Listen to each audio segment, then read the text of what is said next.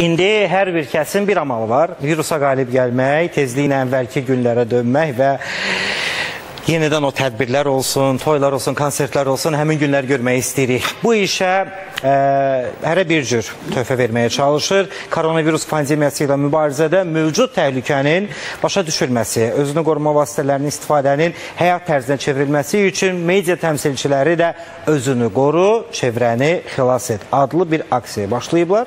İndi aksiyanın təşəbbüskarı və iştirakçısı, e, iştirakçıları ilə biz həmsöhbət olmaq istəyirik. Ümumiyyətlə bugünkü qonaqlarımız əziz insanlardır. Onları biz sıx olaraq televiziyada, mətbuatda çıxış edərək görürük və hər zaman vətəndaşlarımızın çalışdıqları sahədə deyil, Azərbaycan vətəndaşı olaraq da hər zaman ə, onlar təşəbbüskardırlar. Çünki Azərbaycanımızı, vətənimizi sevirlər. Qonaqlarımız Ekologiya və Təbii Sərvətlər Nazirliyinin mətbuat katibi İradə xanım İbrahimova və Gənclər ə, və İdman Nazirliyinin mətbuat katibi Səmaya xanım Məmmədovadır. Xoş Xoş gördük gəlmisiniz, əziz insanlar. sabahınız Səhəriniz xeyir olsun.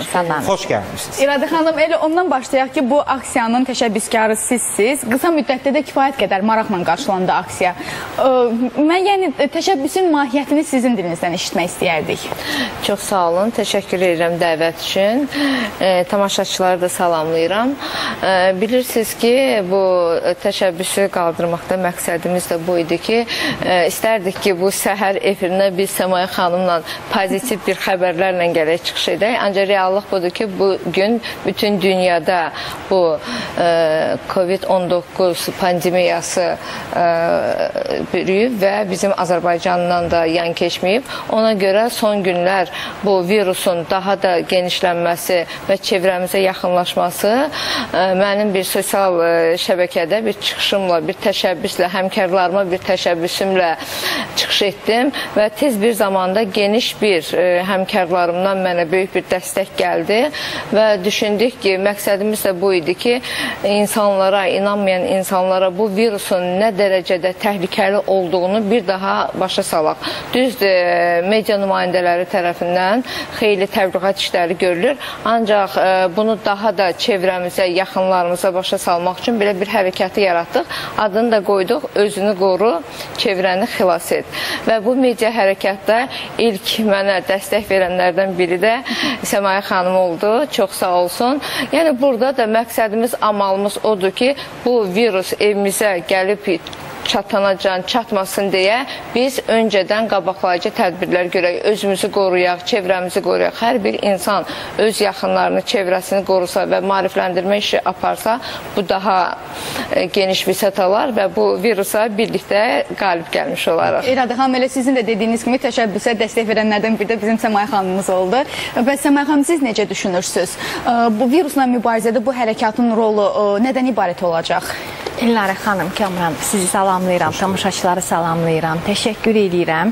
Ə, təbii ki, bilirsiniz, İradə xanım hər şeydən birinci onu deyək ki, İradə xanımla bizi işdən kənar çox sıx dostluq münasibətləri bağlayır və bununla yanaşı dostluq hər bir işdə dostluq olmalıdır, hər bir işdə həmrəylik olmalıdır və İradə xanım mənə belə bir təşəbbüsə başladığını bildirəndə mən böyük məmnuniyyətlə bu təşəbbüsə qoşuldum. Çünki mən də bu ölkənin bir vətəndaşıyam. Yəni nazirlik öz yerində təbii ki, hər birimiz bir dövlət qurumunu təmsil edirik. Hər birimiz dövlətimizə xidmət edirik və hər birimiz istər İradə xanım, istər mən və yaxud da digər insanlar bu təşəbbüsə qoşulan digər mətbuat xidmətləri bir ailənin övladlarıdır. Birisi anadır, atadır, bacıdır, qardaşdır. Yəni hərəmiz bir ailəni təmsil edən insanlarıq. Və bizim üçün ailəmizin sağlam qalması, ətrafımızın, dostlarımızın, çevrəmizin sağlam qalması hər şeydən önəmlidir. Və bu səbəbdən təbii ki, medianın burada rolu çox böyükdür, müstəsnadır. Bu gün nəzərə alınsa ki, bilirsiniz ki, cənab prezident də hər zaman çıxışlarında deyir ki, mətbuat mənim ən yaxın dostumdur və mən bir çox məlumatları mətbuatdan alıram. Demək ki, biz hər bir işdə cənab prezidentə dəstək olduğumuz kimi bu məsələlərdə də dövlətimizə dəstək olmalıyıq, insanlarımıza dəstək olmalıyıq. Və bizim bir məqsədimiz var. Bu gün hər bir mətbu orqanın demək olar ki, sosial şəbəkədə bir səhifəsi var.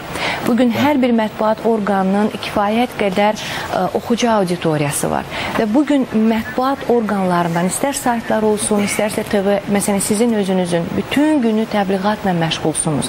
Bu günlərim sizin TV-yə baxan, öyrənən, ə, məlumat alan milyonlarla insan var.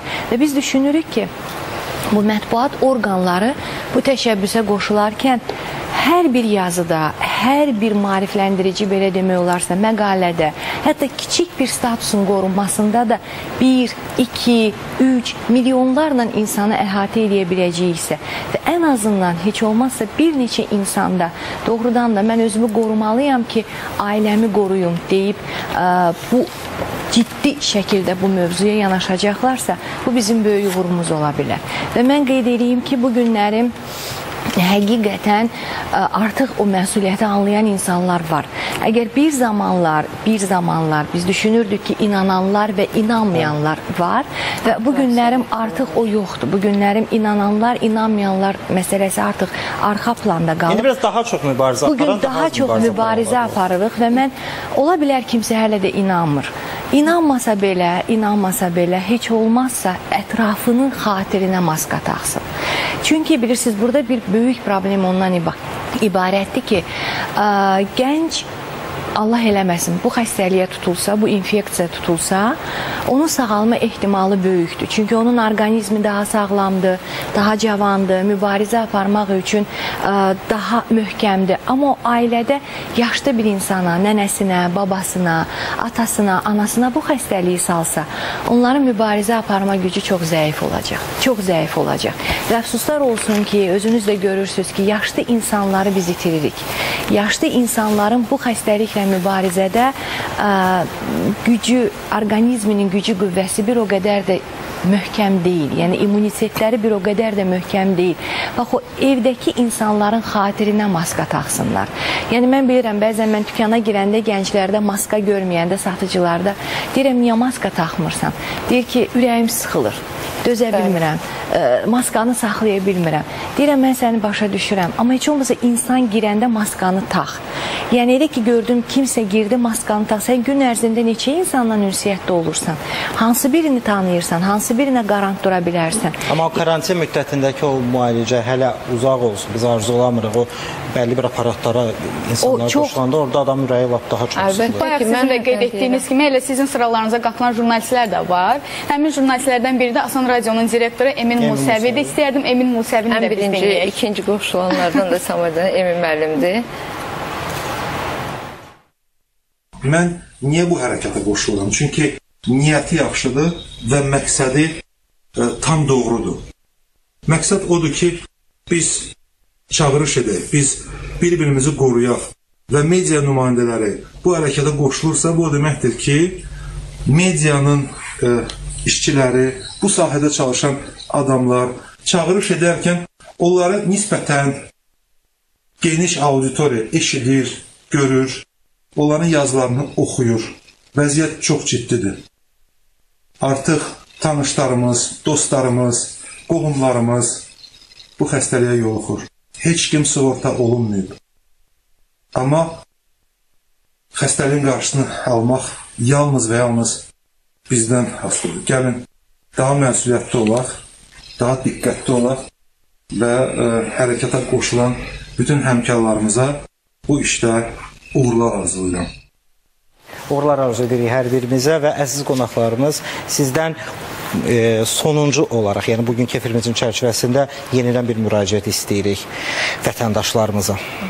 Mən müraciət etmək istəyirəm ki, Səmaya bə- ə, qeyd elədi. İnsanlar deyirlər ki, çətindir, maska taxa bilmirik.